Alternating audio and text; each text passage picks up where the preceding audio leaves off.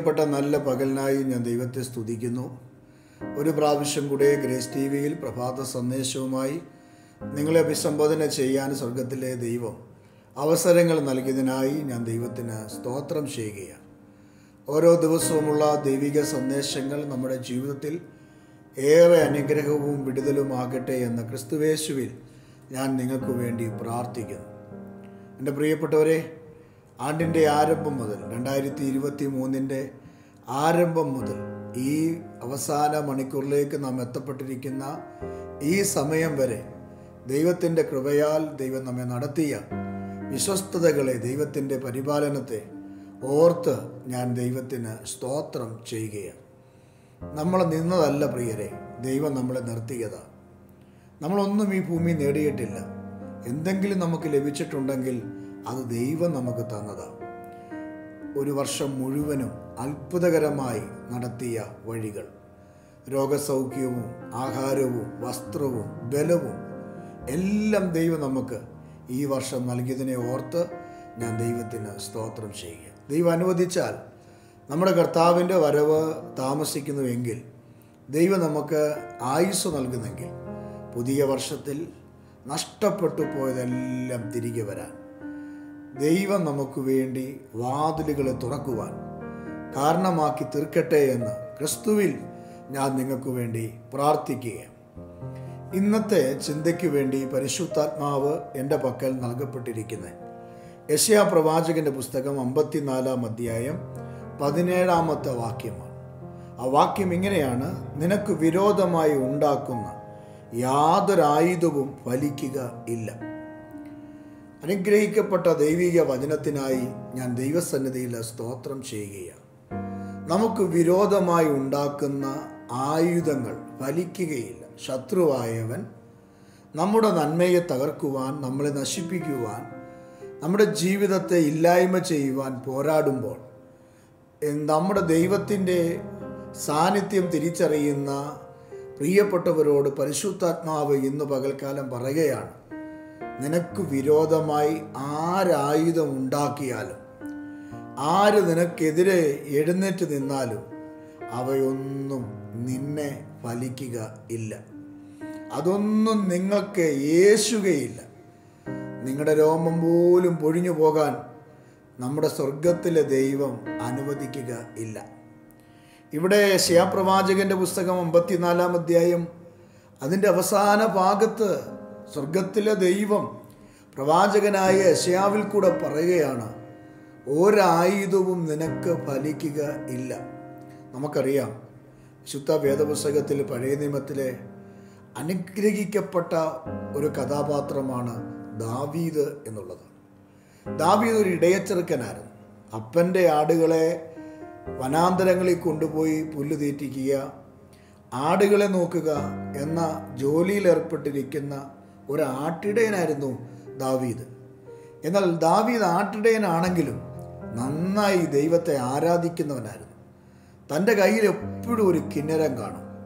ആടുകളെ സ്വസ്ഥമായ സ്ഥലത്ത് പുൽമേടുകളിലേക്ക് മെയ്യുവാനായി അഴിച്ചുവിട്ടിട്ട് അവിടെ എവിടെയെങ്കിലും ഇരുന്ന് ദൈവത്തെ പാടി മഹത്വപ്പെടുത്തുക കർത്താവിനെ ആരാധിക്കുക ദാവീദിന്റെ ഒരു വലിയ സ്വഭാവമായിരുന്നു. അതുകൊണ്ട് ദൈവം അവനെ കണ്ടു. ഇസ്രായേലിന്റെ രണ്ടാമത്തെ രാജാവായി ഒരുവനെ ദൈവം അഭിഷേകം ചെയ്യാൻ ആഗ്രഹിച്ചപ്പോൾ വീണുപോയ ശൗലിനു പകരമായി ദൈവം കണ്ടത് ദാവീദിനെയാണ്. എന്നാൽ ദാവീദ് അഭിഷേകം പ്രാപിച്ച് ശാമുവേൽ പ്രവാചകനെ ദാവീദിന്റെ വീട്ടിൽ വിട്ട് തൈലക്കൊമ്പിനകത്ത് തൈലവുമായി പ്രവാചകൻ ചെന്ന് ദാവീദിനെ അഭിഷേകം ചെയ്യുന്ന ഭാഗം നമ്മൾ വായിച്ചിട്ടുണ്ട്. ഒത്തിരി കാര്യങ്ങൾ നമുക്കവിടെ ചിന്തിക്കാനുണ്ടെങ്കിൽ ഞാൻ ആ ഭാഗത്തേക്ക് പോകുന്നില്ല. എന്നെ ചിന്തിപ്പിച്ച ആ ദൂത് ഞാൻ പറഞ്ഞു മടങ്ങി വരാം. എന്നാൽ കാട്ടിൽ കിടന്ന ദാവീദ് കൊട്ടാരത്തിൽ ചെന്ന് ജീവിക്കുമ്പോൾ ശൗൽ തന്നെ കൊല്ലുവാൻ പല പ്രാവശ്യം ആയുധങ്ങൾ എടുത്തിട്ടുണ്ട്. ദാവീദ് കിന്നരം വഹിക്കുമ്പോൾ ശൗലിന്റെ മേലുള്ള ദുരാത്മാവ് ഇളകും വേദപുസ്തകത്തിൽ കാണുന്നത് ദാവീദ് ആരാധിക്കുമ്പോൾ കിന്നരം വായിക്കുമ്പോൾ പിശാജ് ഇളകിയിട്ട് ശൗൽ എന്ത് ചെയ്യും കുന്തമെടുത്ത് ദാവീദിനെ എറിയും. എറിഞ്ഞു കൊല്ലുവാനായിട്ട് നോക്കും. പക്ഷെ ഒരായുധവും ഒരു കുന്തത്തിന്റെ മുനയും ദാവീദിന്റെ രോമത്തെ പോലും തൊട്ടില്ല. അതാണ് ഞാൻ നിങ്ങളോട് പറഞ്ഞത്. ദൈവത്തിന്റെ വചനത്തിൽ വായിക്കുകയാണ് തന്റെ ഭക്തന്മാരെ ദൈവം സൂക്ഷിക്കുന്നത് കണ്ണിന്റെ കൃഷ്ണമണി പോലെയാണ്.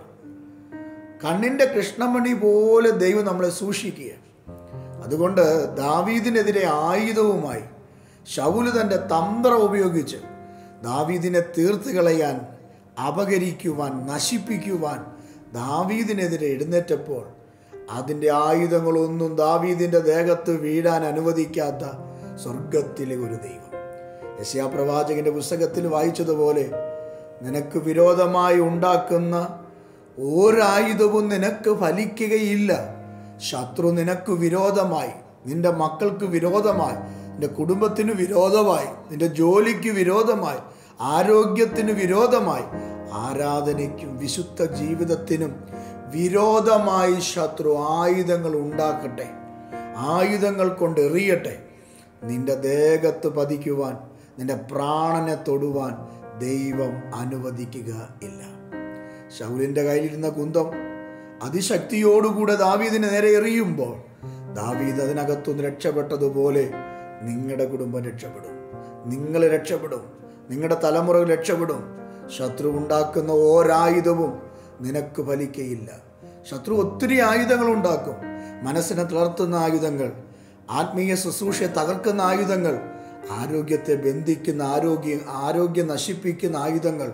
നോക്കുക പ്രാർത്ഥന ജീവിതത്തെ ഇല്ലായ്മ ചെയ്യുന്ന പ്രാർത്ഥനയെ നഷ്ടമാക്കുന്ന ആയുധങ്ങൾ ഇങ്ങനെ ഒട്ടനവധി ആയുധങ്ങൾ സാത്താൻ നമുക്കെതിരെ തൊടുത്തുവിടുമ്പോൾ വചനം പറയുകയാണ് നിനക്ക് അത് ഫലിക്കുക ഇല്ല. ഏത് മന്ത്രശക്തിയും ഏത് കൂടോത്ര ശക്തിയും ഏത് ശകുനവാദ മണ്ഡലങ്ങളും ഏത് നേർച്ചയും കാഴ്ചയും നിനക്കെതിരെ ആയുധമായി വന്നു ഭവിച്ചാലും നിനക്ക് വിരോധമായി ഉണ്ടാക്കുന്ന നിന്റെ വീടിന് വിരോധമായി ഉണ്ടാക്കുന്ന നിന്റെ സ്വസ്ഥതയ്ക്ക് വിരോധമായി ഉണ്ടാക്കുന്ന ഒരായുധവും നിനക്ക് ഫലിക്കുക ഇല്ല. കാരണം വേദപുസ്തകത്തിൽ പറയുന്നു മത്തായിയുടെ സുവിശേഷം പതിനാറാം അധ്യായം പതിനെട്ടാമത്തെ വാക്യത്തിൽ പത്രോസിനോട് പറയുന്നൊരു കാര്യമുണ്ട്. നീ പത്രോസ് ആകുന്നു ഈ പാറമേ ഞാൻ എന്റെ സഭയെ പണിയും പാതാള ഗോപുരങ്ങൾ അതിനെ ജയിക്കുക ഇല്ല. നോക്കുക. പത്രോസിനോട് പറഞ്ഞതുപോലെ പാതാള ഗോപുരം ജയിക്കാത്ത ഒരു തലമുറയെ ദൈവം വാർത്തെടുക്കുമെന്ന്. ദൈവം സഭയായ തോട്ടമായി നമ്മെ ഓരോരുത്തരെയും നട്ടുപിടിപ്പിക്കുമ്പോൾ എതിരെ വരുന്ന ശക്തികൾ എന്തുമാകട്ടെ പ്രതികൂലങ്ങൾ എന്തുമാകട്ടെ ദൈവം നമ്മളെ അതിനകത്തുനിന്ന് വിടുവിച്ച് ഒരു പാതാള ഗോപുര ശക്തിയും ഒരു പൈശാചിക ശക്തിയും നിങ്ങൾക്ക് നേരെ യേശുകയില്ല യേശു പത്രോസിനോട് പറയുകയാ നീ പാറയാകുന്നു. ഈ പാറമേൽ ഞാൻ എന്റെ സഭയെ പണിയും. പത്രോസ് നീ പാറയാകുന്നു. ഈ പാറമേൽ ഞാൻ എന്റെ സഭയെ പണിയും.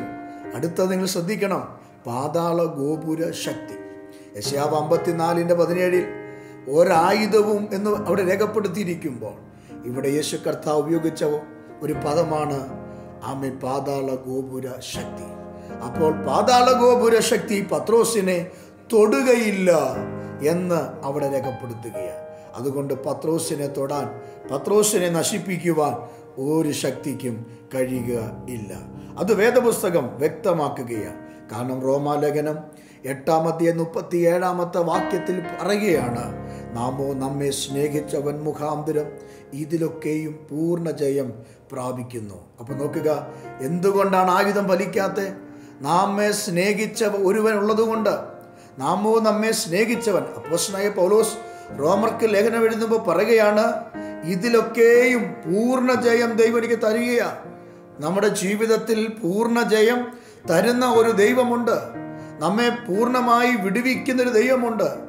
അതുകൊണ്ട് നമ്മെ സ്നേഹിച്ച് നമ്മുടെ കൂടെ നിൽക്കുന്ന ഒരു കർത്താവ് നമുക്കുള്ളത് കൊണ്ട് വേദപുസ്തകത്തിനകത്ത് വ്യക്തതയോടുകൂടെ പറയുകയാണ് ഒരു ശക്തിയും നമുക്കെതിരെ നിൽക്കുകയില്ല. കാരണം പൂർണ ജയമാണ് ദൈവം നമുക്ക് നൽകി. കംപ്ലീറ്റ് വിക്ടറി ആമ ജയമല്ല പൂർണ ജയം. ജയം എന്ന് പറഞ്ഞാൽ ആ ജയത്തിന്റെ പുറകിൽ പരാജയമുണ്ട്. പക്ഷെ പൂർണ ജയത്തിന്റെ പുറകിൽ എന്തില്ല? പരാജയമില്ല. ഒരായുധവും ഫലിക്കാതിരിക്കുന്നതിന്റെ അർത്ഥം നമ്മുടെ ദൈവം നമ്മളെ സ്നേഹിക്കുന്നത് കൊണ്ടാണ് വ്യക്തതയോടുകൂടെ പൗലോസ് പറയുകയാണ് ദൈവം നിങ്ങളെ സ്നേഹിക്കുന്നത് കൊണ്ട് പൂർണ ജയം ഉണ്ട്. പൂർണമായൊരു ജയം നിനക്ക് ദൈവം തരികയാ.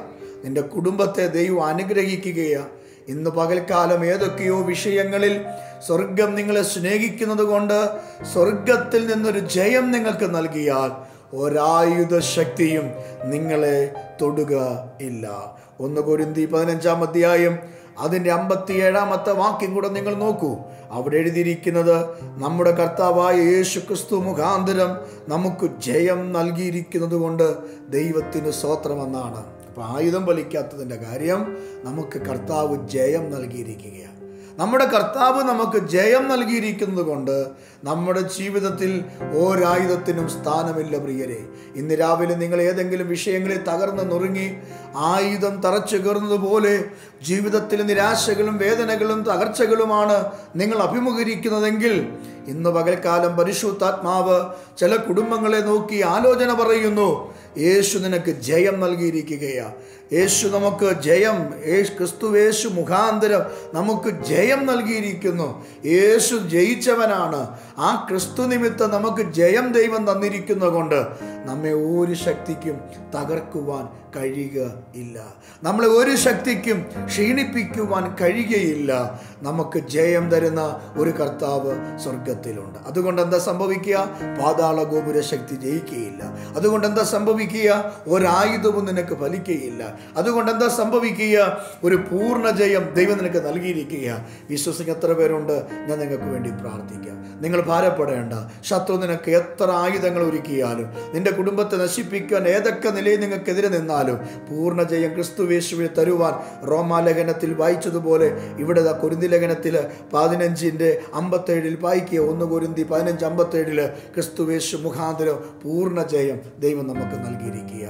നീ ഇന്ന് അനുഭവിക്കുന്ന വിഷയത്തിന്റെ മേൽ ക്രിസ്തു ജയം നൽകിയിരിക്കുക. ക്രിസ്തുവേശുവിൽ ദൈവം നിനക്ക് ജയം നൽകിയിരിക്കുക. ഈ ജയം നീ അനുഭവിക്കുന്നെങ്കിൽ ഇനി നിങ്ങൾ പരാജയത്തിലല്ല. ഇനി നിങ്ങൾ തകർച്ചയിലല്ല. ഇനി നിങ്ങൾ തകർന്ന് തരിപ്പണമാകുകയില്ല. ഇന്ന് നിന്റെ കുടുംബം ഒരിക്കലും ക്ഷീണിക്കത്തില്ല പരസ്യകോലമാകത്തില്ല. കാരണം ക്രിസ്തുവേശുവിൽ നിനക്ക് ജയമുണ്ടെന്ന് വിശ്വസിക്കുന്നെങ്കിൽ എന്റെ കൂടെ ചേർന്ന് പ്രാർത്ഥിക്കുക ഞാൻ നിങ്ങൾക്ക് വേണ്ടി പ്രാർത്ഥിക്കട്ടെ. ഒരു വാക്ക് നമ്മുടെ കണ്ണുകൾ അടയ്ക്കാം. പരിശുദ്ധ കർത്താവേ സ്വർഗീയ പിതാവേ ഞങ്ങളോട് പറഞ്ഞ നല്ല വചനത്തിനായി സ്തോത്രം. ക്രിസ്തുവേശു മുഖാന്തരം ഞങ്ങൾക്ക് ജയമുണ്ടെന്നും ഞങ്ങൾക്ക് കർത്താവ് ഞങ്ങളെ സ്നേഹിക്കുന്നത് കൊണ്ട് പൂർണ ജയമുണ്ട് എന്നതുകൊണ്ടും കർത്താവെ ഞങ്ങൾക്കെതിരെ ഉണ്ടാക്കുന്ന യാതൊരായുധവും ഞങ്ങൾക്ക് നേരെ ഫലിക്കുകയില്ലെന്ന് ദൈവം ഞങ്ങളോട് പറഞ്ഞെങ്കിൽ ഇന്ന് വക ഞങ്ങൾ ആ വാക്കിനെ വിശ്വസിക്കുന്നു. ഞങ്ങളെ വാക്കിനെ കടന്നു വിശ്വസിക്കുന്നു. ഒരു ശക്തിക്കും ഞങ്ങളെ തൊടുവാൻ പറ്റില്ല കർത്താവേ. അപ്പാ ഞങ്ങളതിനെ കടന്നു വിശ്വസിക്കുന്നു. യേശുവിന്റെ നാമത്തിൽ അത് ഞങ്ങളുടെ ജീവിതത്തിൽ സംഭവിക്കട്ടെ. ഞങ്ങളുടെ കുടുംബത്തിൽ സംഭവിക്കട്ടെ. കർത്താവ് നിമിത്തം ഞങ്ങൾക്ക് ജയം തന്നിരിക്കുന്നതിനായി സ്തോത്രം. അങ്ങ് ഞങ്ങളുടെ പ്രാർത്ഥന കേട്ടതിനായി സ്തോത്രം. ഒരായുധവും ഫലിക്കാതെ ഞങ്ങളെ സൂക്ഷിക്കുന്നതിനായി സ്തോത്രം. യേശുവിൻ നാമത്തിൽ തന്നെ. ആമേൻ. അതേ പ്രിയരെ ഒരായുധവും നമുക്ക് ഫലിക്കുകയില്ല. വിശ്വാസത്തോടെ ഇരിക്കുക. ദൈവം അത്ഭുതവനായി പൂർണ ജയം നമുക്ക് തന്നിരിക്കുക. ക്രിസ്തുവേശു മുഖാന്തരം അവൻ നമ്മെ സ്നേഹിച്ചിരിക്കുക. ഈ സ്നേഹത്താൽ നമുക്ക് ജയമുള്ളതുകൊണ്ട് ഒരു ശക്തിക്ക് നമ്മളെ കീഴ്പ്പെടുത്താൻ പറ്റില്ല. ദൈവം നിങ്ങളെ അനുഗ്രഹിക്കുമാറാകട്ടെ. ഈ സന്ദേശം നിങ്ങൾക്ക് അനുഗ്രഹമാകുന്നുവെങ്കിൽ നിങ്ങളുടെ സഹോദരങ്ങൾക്കും സുഹൃത്തുക്കൾക്കും ഷെയർ ചെയ്യുക. ഓരോ ദിവസവും ഗ്രേസ് ടി വിയിൽ ലഭിക്കുന്ന പ്രഭാത സന്ദേശം നിങ്ങളുടെ മനസ്സിന് ആനന്ദവും ആത്മനിറവും നൽകട്ടെ എന്ന് പ്രാർത്ഥിക്കുന്നു. ഈ ശുശ്രൂഷ നിങ്ങൾക്ക് മുടങ്ങാതെ ലഭിക്കുവാൻ ആഗ്രഹിക്കുന്നുവെങ്കിൽ ഗ്രേസ് ടി വിയുടെ യൂട്യൂബ് ചാനൽ സബ്സ്ക്രൈബ് ചെയ്ത് തൊട്ടടുത്ത ബെൽ ബട്ടൺ കൂടി അമർത്തുക. ഓരോ ദിവസത്തെയും നോട്ടിഫിക്കേഷൻ നിങ്ങൾക്ക് ലഭിക്കുന്നതാണ്. നിങ്ങളുടെ പ്രാർത്ഥനാ വിഷയങ്ങളും അഭിപ്രായങ്ങളും അറിയിക്കുവാൻ ഞങ്ങളെ വിളിക്കേണ്ട number seven five five nine zero six eight seven nine one. ദൈവം നിങ്ങളെ ഏവരെയും അനുഗ്രഹിക്കുമാറാകട്ടെ.